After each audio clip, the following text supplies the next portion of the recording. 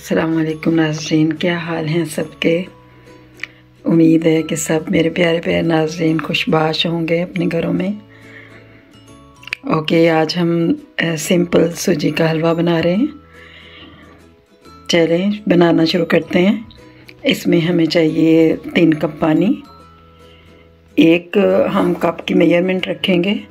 उसी से सारा करेंगे। मेज़रमेंट होना ज़रूरी है। यानी ये हमने तीन कप पानी लिया है तो इसके लिए हम एक कप लेंगे सूजी।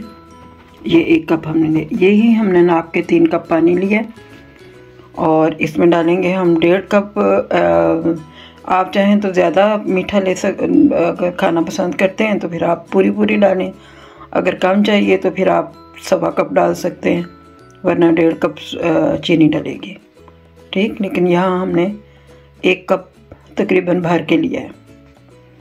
ये हम आधे से थोड़ा सा ज़्यादा कप लेंगे ऑयल या देसी घी ले लें, ज़्यादा बेहतर है। मेरे पास ऑयल था। और ये हम लेंगे किशमिश। किशमिश लेंगे और काजू और बादाम। और ये गिरी है और ये तीन हैं इलायचियाँ। ये हमने कोट लिया। ये हमारा थोड़ा सा ज़रदा कलर आएगा इसमें। तो बहुत ही मज़े का ये हम जल्दी से बनने वाली रेसिपी है। मीठा खाने को दिल करे तो 10 मिनट में ये हलवा तैयार हो जाता है। चले, अब हम शुरू करते हैं। फ्लेम ऑन करेंगे इसका।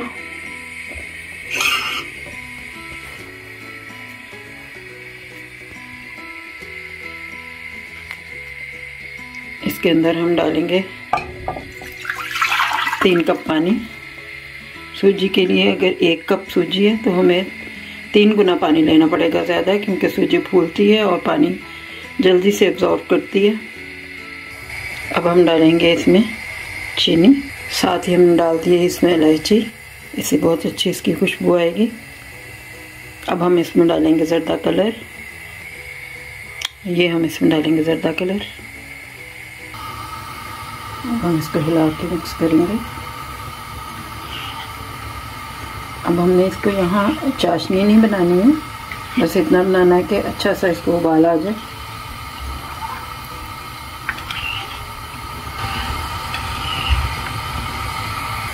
दूसरी तरफ़ हम नाजेंगे रखेंगे फ्राई पैन। इसमें हम, हमने डाला है एक टेबल स्पून ऑयल अब इसमें हम डाल देंगे बादाम।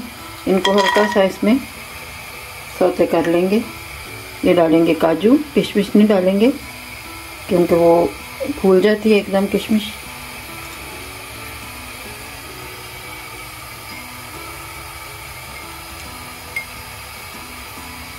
ये हमारे गए काजू। और ये डालेंगे हम गिरी। थोड़ा सा हम इसको, इसका दूर कर लेंगे, ज़रा अच्छा इसका रोस्ट करेंगे, ज़रा मज़े का जायका हो जाता है हलवे का।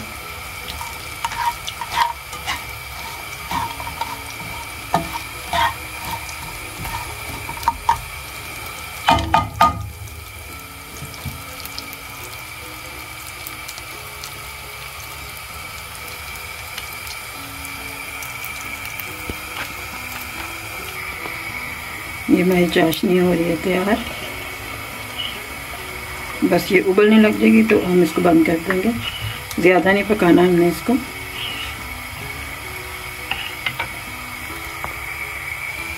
हमारे पास नाजरीन ये वाले थे ड्राई फ्रूट। आपके पास जो भी हों, आप डाल के तो अपना हलवा तैयार कर सकते हैं। मेरे पास इस वक्त काजू, बादाम और गरी थी और किशमिश। आप इसमें अखरोट भी डाल सकते हैं, पिस्ता भी मज़े का लगता है। ये हमारी चाशनी को उबाल आ रहा है अच्छी तरह। अब हम इसको उतार देंगे। अब हम दरमियानी आँच पे रखेंगे कढ़ाई। ठीक। इसमें डालेंगे ऑयल।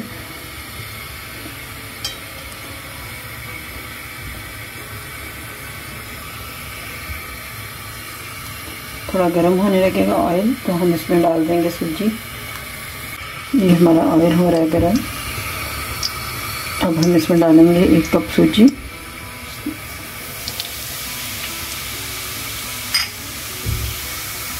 अब हम स्लो आँच पे इसको करेंगे। ब्राउन, हल्का ब्राउन। आँच तेज़ नहीं करेंगे, बहुत जल्दी ये जलने लग जाती है।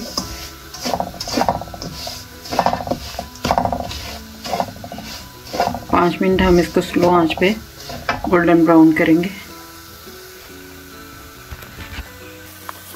हलवे की सबसे अहम बात यह है कि सूजी को हम सही तरह ब्राउन करें। जितना हम इसको अच्छी तरह भुनेंगे, उतना ही हमारा हलवा अच्छा दानेदार तैयार होगा।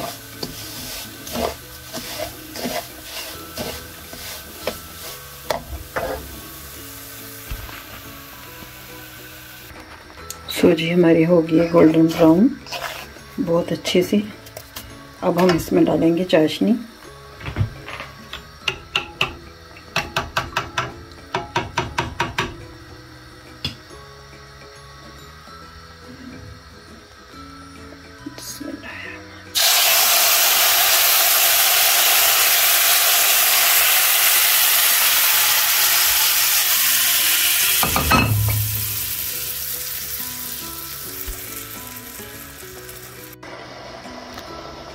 हमने इसको अच्छी तरह हिला लिया है, ताकि इसके अंदर गुठलियाँ ना बने।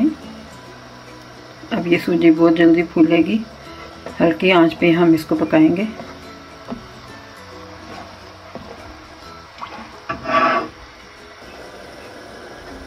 ये देखें नाजरीन ये हमारा हलवा हो रहा है, गाढ़ा। अब हम इसमें डालेंगे ड्राई फ्रूट।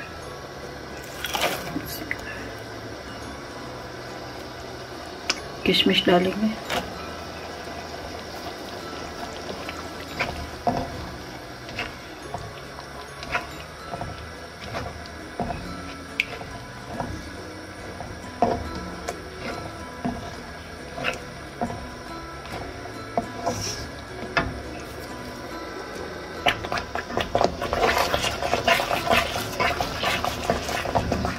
एक टेबल स्पून हमने इसमें ऑयल और डाला है। लेकिन इसके लिए देसी घी जो है वो बेहतरीन है। मेरे पास इस वक्त देसी घी नहीं है। थोड़ा सा हम इसको और पकाएँगे। और फिर डिश आउट करके आपको दिखाते हैं। हलवा हमारा हो गया तैयार। अब हम फ्लेम ऑफ़ कर देंगे इसका। और इसको निकालते हैं। यह हमारा हो गया हलवा डिश आउट बहुत ही मज़े का जायका है, बहुत मुनासिब इसके है। चीनी इसमें मिठास। नाजीन मेरी वीडियो आप लोगों को पसंद आए तो ज़रूर सब्सक्राइब करें, लाइक करें और अपने दोस्तों को फैमिली में, फैमिली ग्रुप्स में शेयर करें। और एक और ज़रूरी बात कि अगर आपको वीडियो अच्छी लगे तो कमेंट्स करना ना भूलें। कमेंट्स करेंगे तो मुझे पता चलेगा कि मेरी वीडियो आपको अच्छी लग रही है कि नहीं। ओके, फिर मिलते हैं एक नई रेसिपी के साथ। अल्लाह हाफिज़, अपना बहुत सारा ख्याल रखें।